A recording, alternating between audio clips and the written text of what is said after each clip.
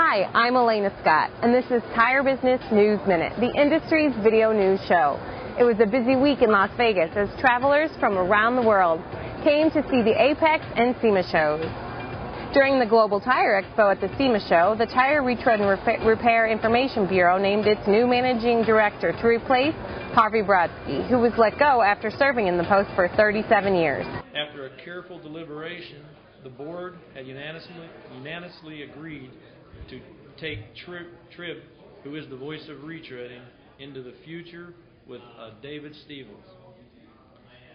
There are many good reasons why we were in total agreement to select David, such as his leadership skills, his media planning, trade show management experience, online marketing experience, partnership development, website management, and a very good understanding of new technology.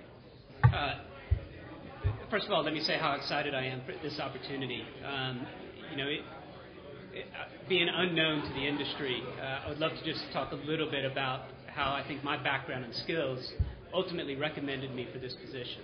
Um, I have about almost 20 years of multi industry experience in managing PR, marketing, uh, sales, and customer service. Uh, I've worked in the telecommunications industry, uh, the internet services industry, uh, credit cards, and financial services. Meanwhile, the Tire Industry Association unveiled a health insurance plan for its members, as well as workers' compensation, garage liability, and product liability insurance for retreaders. So this is really the first time since the early 80s that we have a comprehensive program for every aspect of our members' insurance needs. I'm really excited about this. When we went through all the reform in insurance and everything, it was hard to keep association national health care plans and we're really excited about this.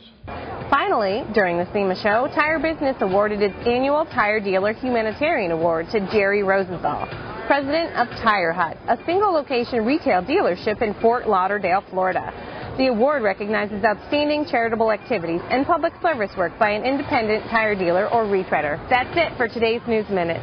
Be sure to read our November 8th edition for more on these and other stories. I'm Elena Scott reporting from Las Vegas, and we'll see you back here November 15th.